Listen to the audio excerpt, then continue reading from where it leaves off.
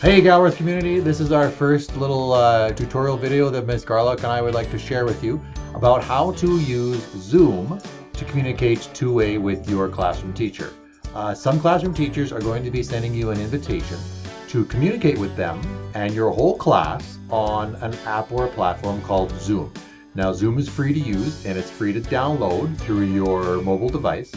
How you decide to use it shouldn't matter at all. But there are some things on how you need to set it up and how you need to access it that we'd like to go through with you right now. So first of all, you're going to get an invitation from your classroom teacher on joining the Zoom meeting. Now, some classroom teachers are sending out emails that will be scheduled times throughout the week.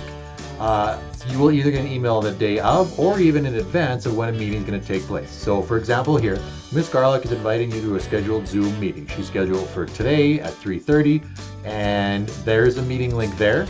There's a meeting ID and password there just in case the app prompts you to enter it. If you click on the link here like I will, you shouldn't need to enter that, okay? So I've decided I'm ready to join the Zoom meeting, and Ms. Garlock's already started it because it's at 3.30 and it's already uh, 3.48 on our time. So if I click this link, you'll be able to see it's gonna take me right into the Zoom uh, website. So it's gonna ask you, do you wanna open Zoom? Yeah, I wanna open Zoom. So you click on that and it's gonna say launching. Now, if you've got a webcam like I do, it's going to ask you a couple of things. It's going to ask you to join with video, so I'm going to join with video today. Uh, I've turned off my camera for now so I don't get some feedback in our video here, uh, but uh, it does, when you click join with video, it does work. And then I'm going to click with join with computer audio, and then it's opened up in a little window here, so I'm going to bring Miss Garlock over here, and hi Miss Garlock! Hi Mr. Tassel! You're there!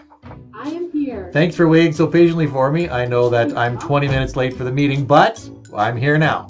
Made it eventually. That's what matters. Thank you. So I know that you're on that end. Do you mind if I show everybody else how to use this and just kind of ask you to mute your screen for now? Absolutely. Awesome. That would be great. Thanks, Mrs. Garlock. Yeah, you bet.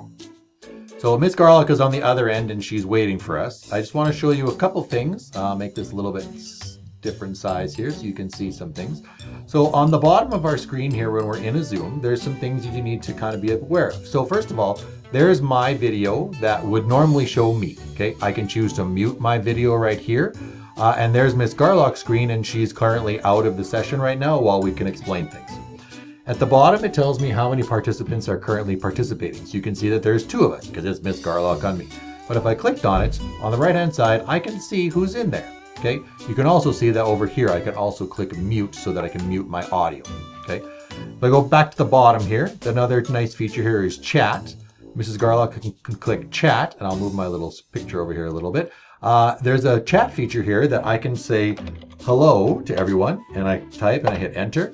Um, or if I want to send just a message to Miss Garlock since she's hosting to saying, um, uh, help, I need some tech help. Miss Garlock can maybe send me a private message instead of everybody seeing that I need a little bit of tech help. Okay, so that's the chat piece. Um, the record piece we won't need to use, and what will probably end up happening is that um, when Ms. Garlock sets up or any teacher sets up, they'll turn that feature off. So we won't do record for now.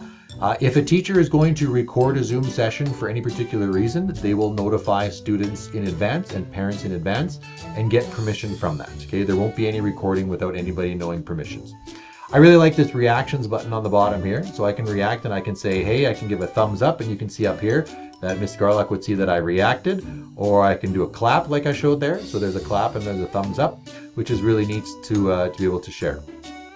Uh, if I go over also to um, the side here on my video options, if I really wanted to get kind of fancy here, I can choose a virtual background and I can change what the background looks like on my on my uh, screen. Now I'm not going to do that today, but you can have a little bit of fun with that if you'd like as well. Um, also in the chat window, I'd like to point out a couple of things here. Uh, there's another mute me button, but there's also a raise hand button. The nice part about the raise hand button is if I click raise hand, Ms. Garlock sees in the chat window that I've raised my hand and that I have a question. So that she has the ability to see that rather than everybody talking over each other, I just click raise hand and then she knows that I have a question and she can come back later and she can say, yes, Mr. Teisel, you have a question, okay? I can then, when I'm done, click lower hand because my question's been answered. Okay, so that's pretty much how a Zoom meeting works. Um, what's important to remember when you're doing a Zoom meeting is that when you're not talking, you mute your microphone because sometimes you get feedback. So you can just do that by clicking up here where it says mute. I can also go down in the bottom left corner here and I can change my mute microphone to be, I can just click and go, and now it's muted. And now it's back on. Okay, so that's Zoom's pretty easy to use. Um, at some point, you may be venturing with your teacher to do the share screen. Uh, your teacher has the ability to block you from showing your screen. Uh, so if you decide to share screen and nobody's ready to see that, or um, there may be a, it's not the right time, let's say your teacher can just turn off your video from the rest of the group. But let's say I'm ready to share my screen. I really want to share what I've been working on. I can decide to go into um, my screen here and I can choose uh, screen two if you have two monitors. I can even choose whiteboard here. And if I choose whiteboard and then I click share, it turns into this whiteboard where I can actually draw different things. Um, and I can uh, change the, I can change to a stamp, let's say. My stamp is my X, so I can do some stamps, let's say. Or I can change the color, okay, of my drawing. I'm gonna change that to a red pen. Okay, oops, draw, sorry, red pen here. And we can do some outlining here. So what's neat is our teaching staff can also show you um, how they're doing things. Let's say in um, in language arts, when you're completing a sentence punctuation or a sentence, or they're using math to problem solve or some quiz they want to show kind of virtually, they can use the whiteboard. And students can also flip back and they can share uh, their own whiteboard. Okay, and then I just click stop share way at the top here. Uh, let's move my screen here. There's a stop share at the top.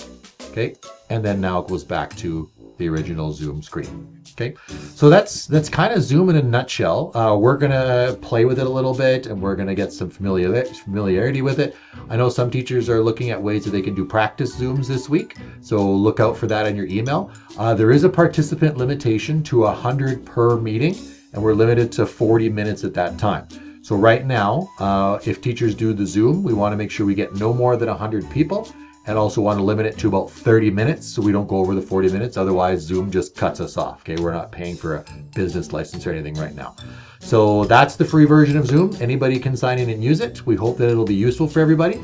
Um, if you have any questions about Zoom or you're not sure, you feel free to um, send uh, your teacher a message uh, and we'll communicate any way that we can to get through that tech issue.